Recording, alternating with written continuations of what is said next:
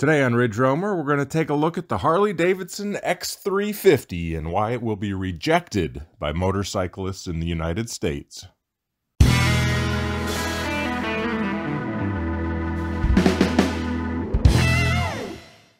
Harley Davidson is America's largest motorcycle manufacturer. They build big, heavy, underpowered, overly expensive motorcycles and have a huge cult following of buyers lined up to buy them. 30, 40, 50,000 dollars plus surcharges, fees, etc. No problem. Deep-pocketed diehards will stroke a check, and starry-eyed fanboys will sign their lives away with a 108-month payment plan. Those of us looking for value of more bike at a lower cost look to other brands. But Harley Davidson again has the bright idea to bring a new small displacement motorcycle to the United States. So let's talk about their upcoming folly.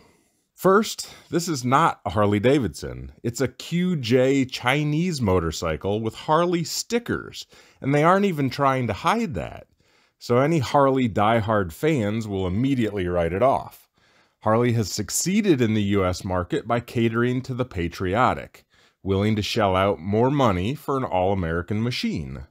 This X350 goes completely against that mentality and the fact that Harley would even try to sell it alongside their large displacement American V twins will be a slap in the face to loyalists walking through Harley dealership doors.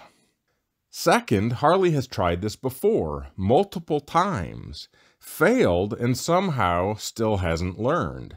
Remember the Harley Davidson Street 500?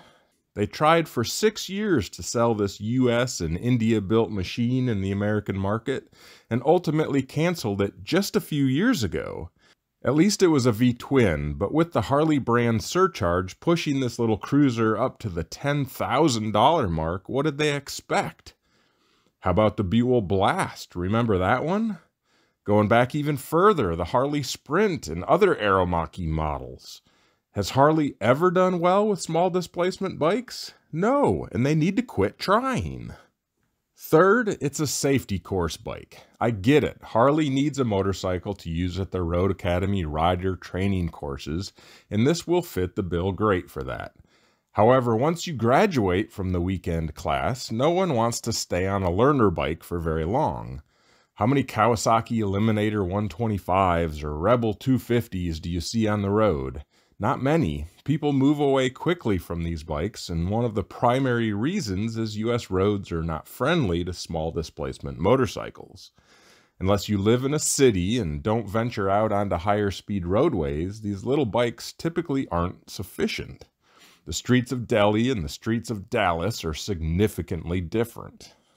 Fourth, as I mentioned before, nothing can run through the Harley Davidson sales funnel without being overinflated in price. Bikes, parts, apparel, all subject to massive surcharges because they have the Harley bar and shield, and this will be no different. The Benelli version of this bike, or close to it, sells for about $4,900. Official X350 pricing has not been released yet, but there's no way it's going to be less than $59.99.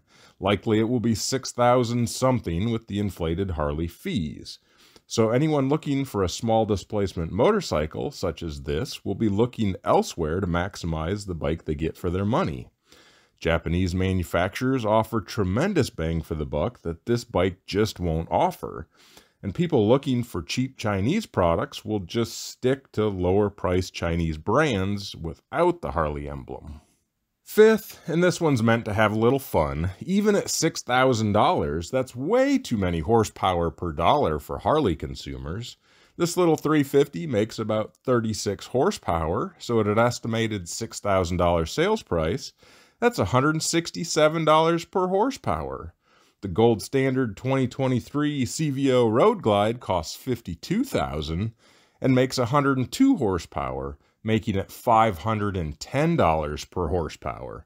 That's the kind of underperforming, excessively priced machines Harley loyalists prefer.